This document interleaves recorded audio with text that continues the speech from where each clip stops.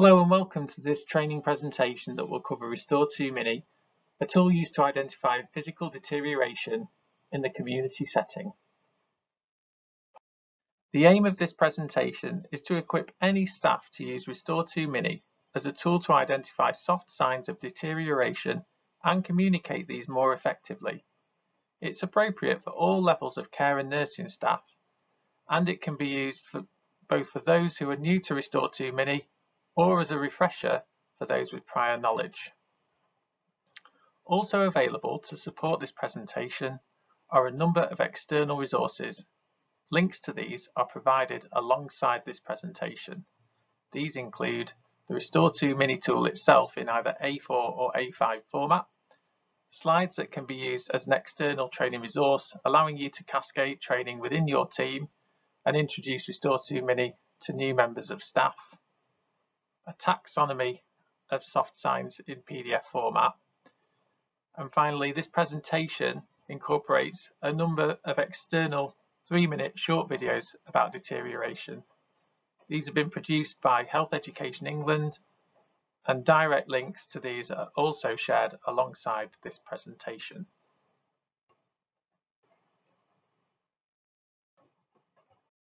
Restore 2 Mini was originally developed for use in care homes.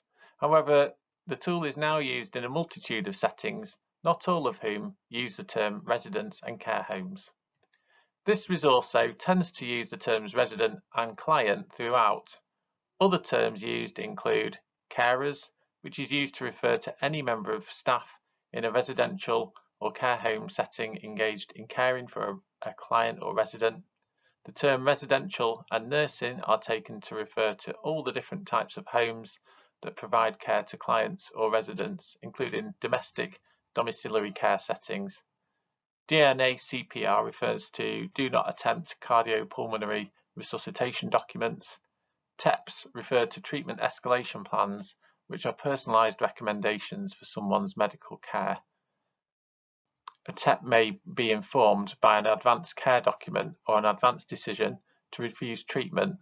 These will be covered in your own organisation as appropriate. We'll start first of all by learning about what Restore 2 Mini is. The tool itself is really simple and comprises just two elements, which are the soft signs of deterioration, which support carers to identify potentially unwell residents or service users, and a structured communication tool to help you get your message across.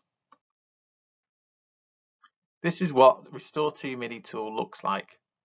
Usually a simple paper tool that you can print and have ready to use. If you notice any soft signs or are concerned about a resident or client, you can grab a form which gives a list of prompts and record your observations. Your workplace may have made Restore 2 Mini available to you via a digital tool. Either way, the principles and process to follow is the same. Whether you work in a care home, domiciliary care, assisted living, extra care or any other form of community care, there is no reason why you wouldn't be able to use this tool. It is a tool that adds structure and a framework to what you already do as carers and helps you to communicate any concerns better so that you can be heard by clinical staff.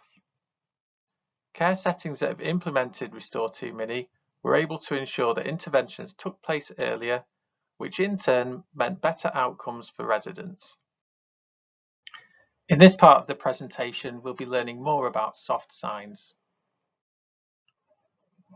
Soft signs are the early indicators that someone may not be as well as normal. We've all experienced this. Think about a time when you were last unwell. How did you know you were becoming unwell? How could you tell when it was getting worse? Did you feel more tired than usual? Or perhaps you felt sick or hot? Here's an exercise. Pause the presentation and write down as many soft signs as you can think of.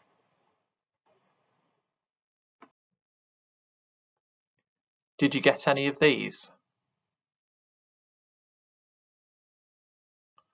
What else did you identify? Here is an index of soft sign indicators of deterioration.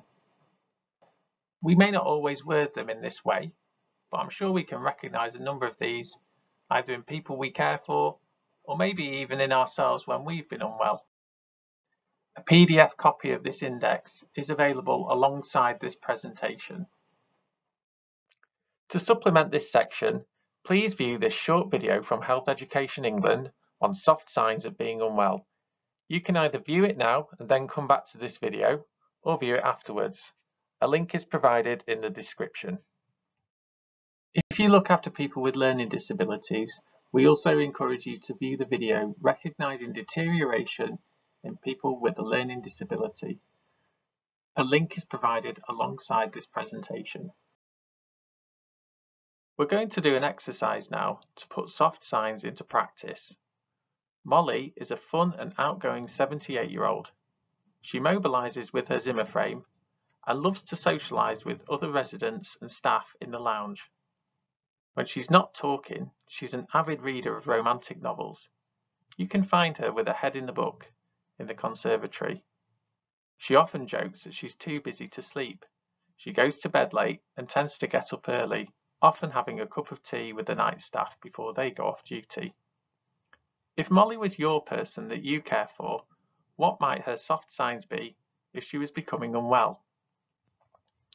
Take a minute to think about what they might be and I've divided it here into either a physical presentation, her mental state, her behaviour or her abilities.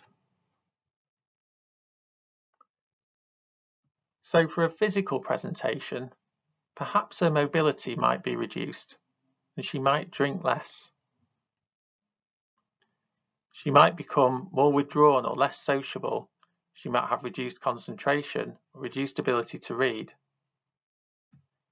And in terms of her behaviour and her abilities, perhaps she might become more tired than usual or spend more time in bed. These are all potential soft signs that you might see in Molly should she be becoming unwell. Here is the Restore 2 Mini tool where we record the soft signs that we've observed in our person. So using Molly's example, we would add her name, her NHS number, her date of birth, and we would fill out the soft signs that we've seen for her. We've seen reduced mobility, potentially drinking less, and sleeping more. This would then be stored in her care records. It's also important that we think, could this be sepsis? To supplement this section, please view this short video from Health Education England about sepsis and why it's so important to be aware of it.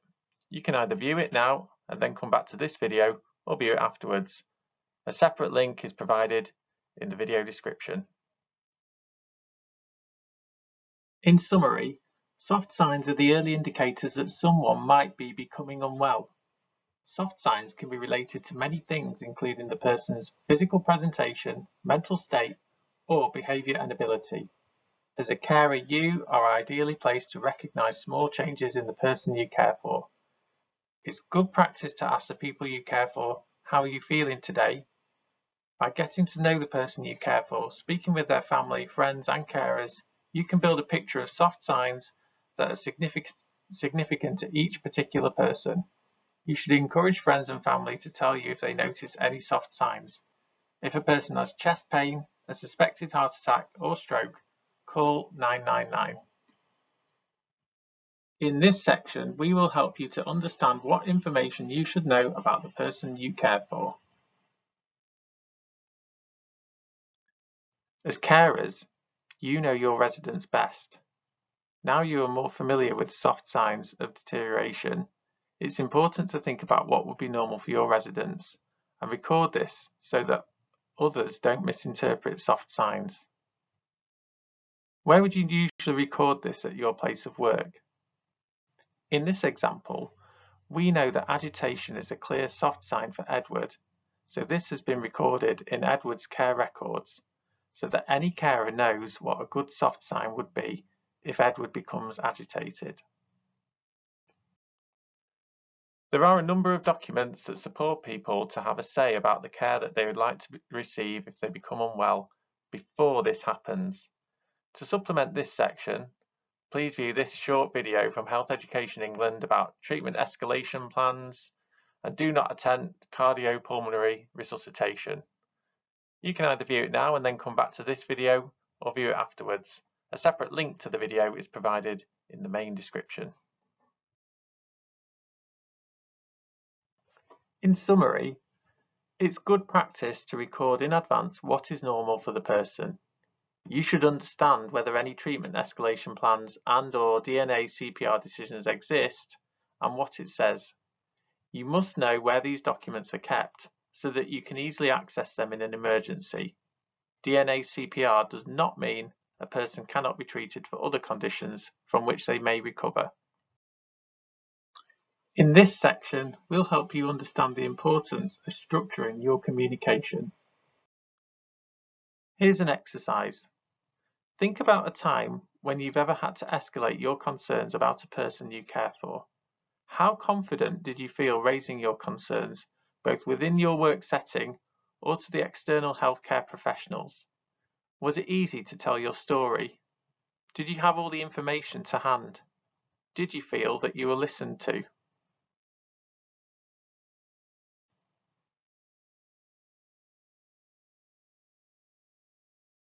Being able to communicate effectively is a critical skill for every carer. There is little point in recognising deterioration in someone if you're unable to communicate your concerns. It can be difficult to communicate with different groups of people, particularly when you are under pressure or tired. It is good practice to always try and plan your communication. Structured communication tools like SBARD can help you to ensure that information is transferred accurately and safely between people. Next is a video which explains how to use SBARD to structure your communication. To supplement this section, please view this short video from Health Education England about SBARD. You can either view it now and then come back to this video or view it afterwards and a separate link is provided in the main description. This slide summarises what you would include in your SBARD. Under Situation, this is where you would briefly explain the current situation. The key information needed here are your details, the resident and patient information, and why you're raising your concerns, for example, the soft signs that you've seen.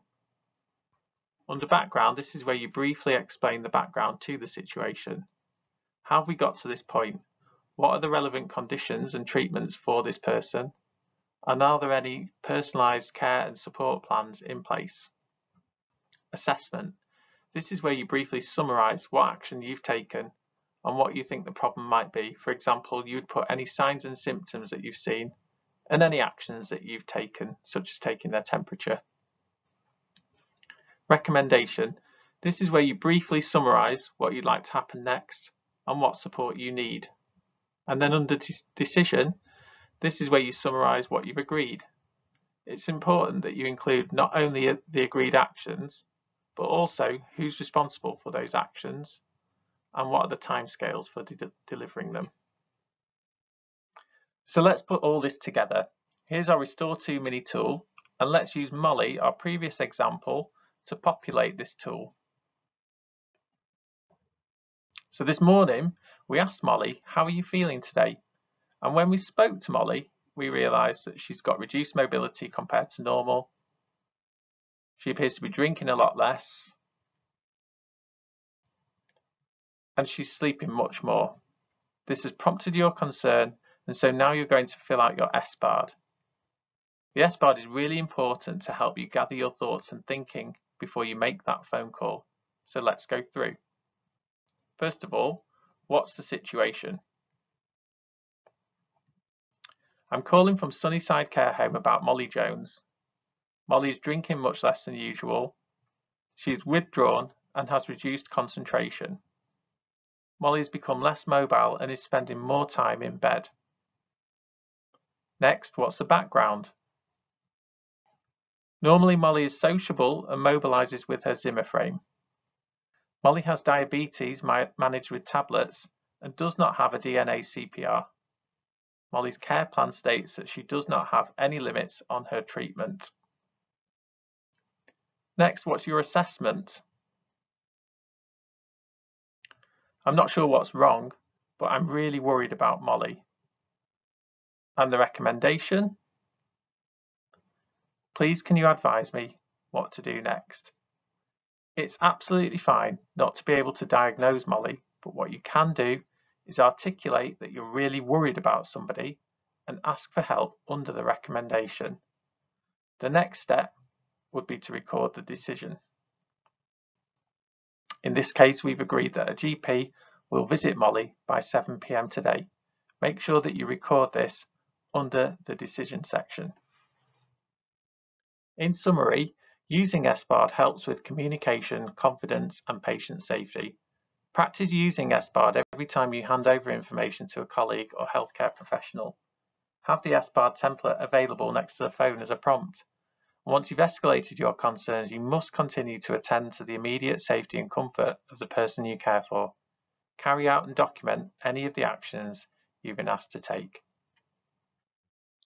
There may be times that you need to call for an ambulance.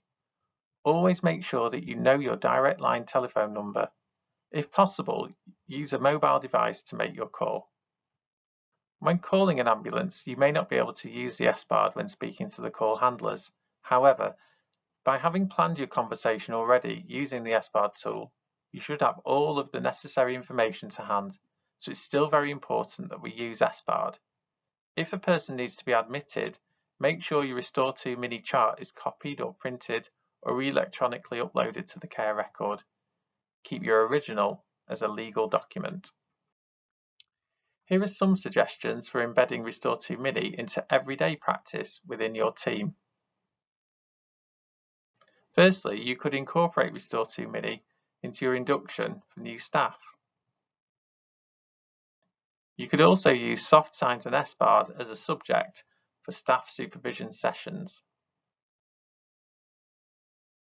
And also, SBARD can be useful in other situations too. Staff could practice using SBARD with each other in handovers between shifts. Did you enjoy this training or do you have any feedback to share with us? Before you go, please just take a couple of minutes to leave us some feedback on this training. You can access our form using this QR code. Thank you. Thank you for viewing this training presentation.